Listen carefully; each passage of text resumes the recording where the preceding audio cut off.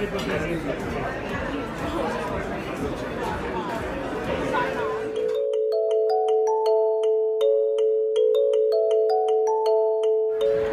big glass of uh, one of the house reds here, a Cabernet Sauvignon.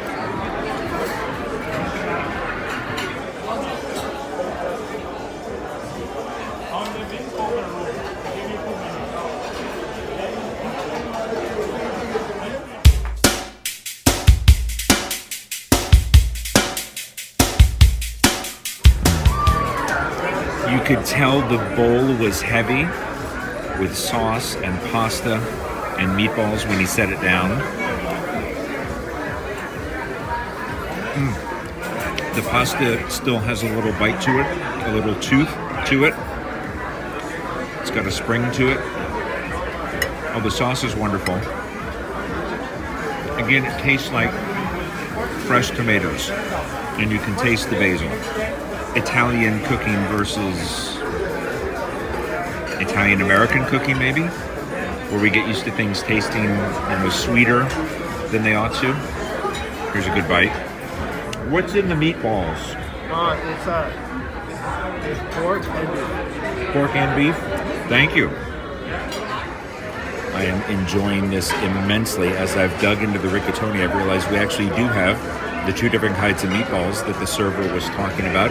This one is much smaller, and then we've got the larger one with the parmesan on top. More like a traditional meatball. This is a little more closely grained and a little chewier, but so incredibly yummy. Mm.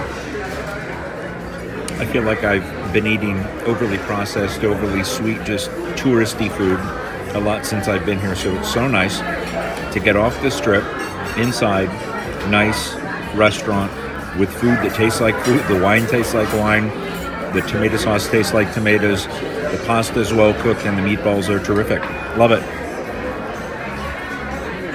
Mm.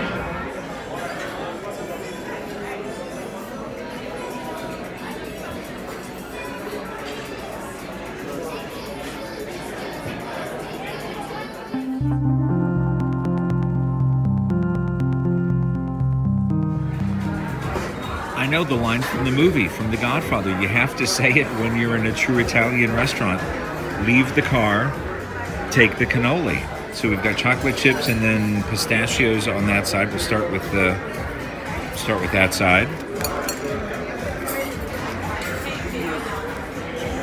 The shell is perfectly baked, overfilled, but just cheesy, a tiny bit salty, sweet but not too sweet. What a great um, end to the meal here at Allegro. And now, chocolate side. With the cheesiness of the ricotta filling and the snap of the crust and the chocolate, it's a little bit reminiscent of a chocolate cheesecake, although the ingredients are in a completely different form. It's close. Oh, so good.